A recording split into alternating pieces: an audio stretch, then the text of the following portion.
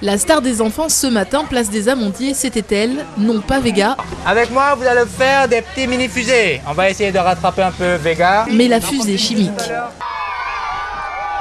Un peu de vinaigre et de bicarbonate de soude et ils obtiennent un mélange détonnant qui permet à la fusée de décoller. Avant le décollage, l'animateur fait quelques recommandations. Le vinaigre, c'est un produit assez dangereux, c'est un produit chimique, d'accord? C'est un sorte d'acide. Lorsque ça reste trop longtemps sur la peau, ça peut brûler la peau pour commencer.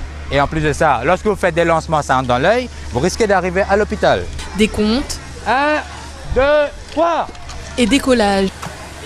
Plus qu'une attraction, fabriquer une fusée permet d'allier la science au jeu. Et maintenant que j'arrive à les fabriquer, ma fusée, elle s'appelle Vénus. Je connaissais pas les fusées chimiques en fait. Et du coup, je connaissais que les fusées à eau où il faut pomper et ça part.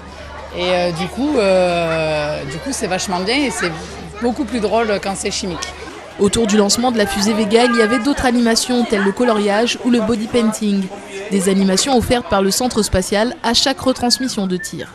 Une soucoupe volante, euh, une planète, c'est joli, On est là une heure avant le tir et jusqu'à une heure après et on fait des animations sur le thème du spatial. Donc en général on a les mini fusées chimiques, le grand hit à chaque fois et euh, on essaye aussi de faire soit des petites fusées. En fait c'est pour expliquer un petit peu, vulgariser comment ça marche.